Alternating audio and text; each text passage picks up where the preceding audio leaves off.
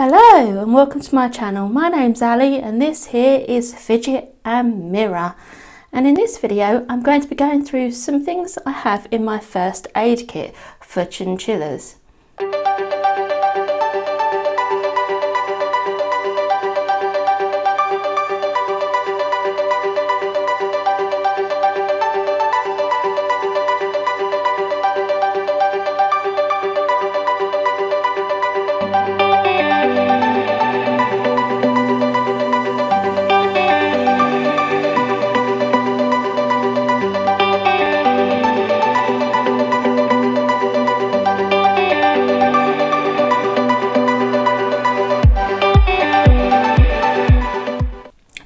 I'd like to say, how is everybody?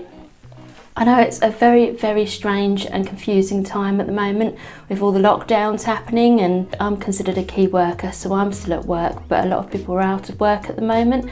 And um, uh, yeah, so it's a very, very strange time. Luckily, we've got the chinchillas to keep us company and keep us amused. So anyway, with this video, I'm going to be going through some things that I have in my first aid kit because with all pets, you have to make sure you have some sort of emergency kit available to them if the worst should happen. Now this should not ever replace a vet's visit at all. This is just things that you can do at home to help out with um, conditions. Let's go through some things I've got in my first aid kit. So the first thing I've got, so this is critical care. Now this is used for when your chinchilla has stopped eating or it could be they've got a problem with their teeth or they've been to a vet visit, had an operation and need to be fed through syringe. Now this is like a fine powder and you add water to it so it's like a pasty consistency and you can either syringe feed it or if the chinchilla's um, strong enough they normally will take it off a spoon. So I always like to have some syringes as well just in case. So just in case they won't eat off, eat off a spoon, you can feed them this. Now this is really quite expensive. It's £15 for a little tiny pouch, but it does go a long way and it does have everything they need in it to help them regain strength and to be healthy. Now, if you don't have critical care, there are other options available. You can blend up your own pellets to a powder and then add water and then try syringe feeding that. But if your chinchilla is not eating or has stopped eating, please use this but take them to a vet because there might be something seriously wrong, especially if they're not eating because of teeth problems. So yeah, and then as I say, if, if your chinchilla's had an operation, any kind of operation, the vet would normally recommend giving them this as a way of feeding them while they recuperate and recover. So yeah, always worth having a having a bag of this. And if you haven't got a bag of this, you can blend up pellets for them to have. So yeah, that's my first item that is in my first aid kit. Second thing I normally have in my first aid kit, but I haven't got at the moment, is Infacol. Now Infacol is infant gas drops. It's used for babies with colic which is a thing that babies can get, which is a buildup of gas.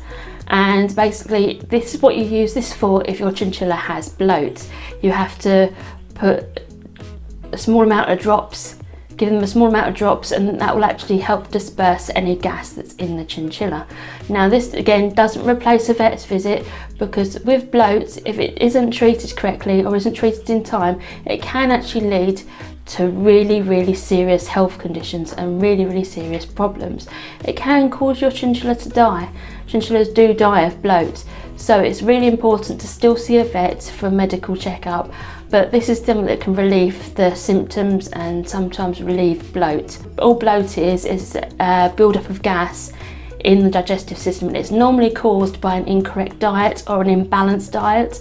So for example, if you're feeding too many treats, your chinchilla may get bloat. If you're feeding not the right diet to the chinchilla, they may get bloat. And what it feels like, it feels like a firm, hard belly and they will be stretching a lot to try and release some of the gas. But they can't really release it, which is why it causes problems. I haven't got any in my first aid box at the moment because the last lot I had actually expired and at the moment with the way people are panic buying stuff. They're also panic buying baby stuff and I don't want to take away from a mother having her baby stuff through me buying it for my chinchilla if that makes sense. So at the moment if any of my chinchillas show signs of blobes I'm just taking them to the vet. Next thing I have is saline eye drops and we use these if your chinchilla has an infected eye. You can use these to just kind of clear the eye. But if your chinchilla is having eye problems, it's got a watery eye or gum coming out of the eye, you always still need to see a vet. But this can help with the symptoms in the meantime. So, so saline eye drops are really good. I also have some glass eye droppers. So this is Sudocrem Sudocrem is just nappy rash cream and it's just moisturiser. You can use other things like Vaseline and all kinds of other things for this, but Sudocrem is fine for them. Um, I generally use it on their ears if their ears are a bit dry, but I don't really moisturise their feet because chinchillas are meant to have quite dry and hard feet. And if you moisturise them, it can actually lead to actual feet problem because chinchilla's feet are not meant to be soft, they're meant to be hard. And the hardness actually protects them from injury. So I generally don't use it on their feet. If their feet are extremely sore and kind of cracked, yes, I may put a little bit on, but other than that, I really don't. If your chinchilla's feet are bleeding, I would honestly seek medical attention for your chinchilla because it might lead to further infection. So yeah, so that's Sudocrem. The next thing I have is just an antiseptic cream. You can use this or you can use, there's another one called Savlon that you can use and this is basically to treat really mi minor wounds and cuts. Anything major you would need to see a vet with, but this is to treat minor cuts and wounds. Luckily, I've never had to use this with my chinchillas, so that's quite a good thing. So the next thing I've got is athlete's foot powder. And athlete's foot powder is actually used to treat ringworm.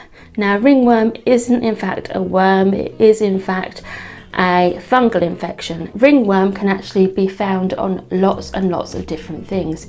The spores of ringworm can actually be on the chinchilla's hay, it can come in with the chinchilla's bedding, it can come in with the chinchilla's food, it definitely lives on wood. So yeah, it can come from a lot of places, but it only really causes a problem if your, husbandry is not quite correct and it might need a little tweaking.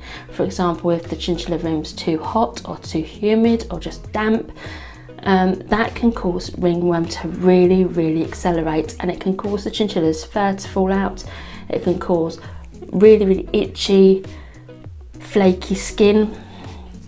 It normally starts on the nose and the base of the tail, but it can start anywhere, but that's where it normally starts.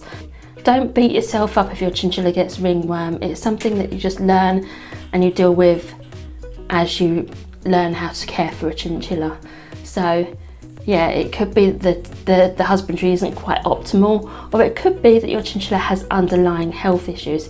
If your chinchilla's not well anyway, or has underlying health issues, they, they're more likely to be susceptible to a ringworm breakout. And what you do is you have to Put some of this in your chinchilla's dust and let them roll around in it. That's all you have to do, you just have to sprinkle it in the dust and let them roll, roll around in it.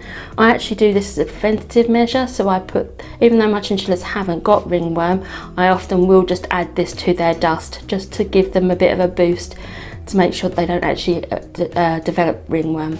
So if your chinchilla has ringworm, another thing you need to do is you need to remove all the wood from the chinchilla's cage and disinfect the cage and don't put wood back into the cage you'd have to replace all the wood and put new wood in don't put the new wood in until the chinchilla is clear of ringworm because ringworm is really hard to get rid of once it's there Next thing I've got is raisins. Now you might be thinking, why on earth have you got raisins in your first aid kit?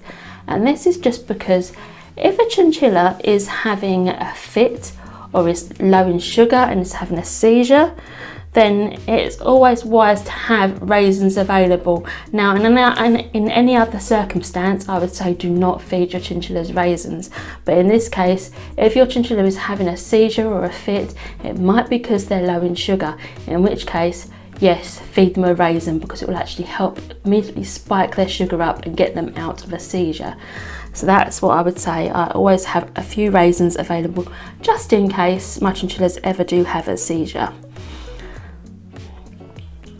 So that's all things I have in my chinchilla first aid kit for the time being. I have things like bandages as well, but any serious wounds or any serious issues with my chinchillas, I always see a vet. Um, so this is just things to help along before you see a vet for certain things. So yeah, that's it really.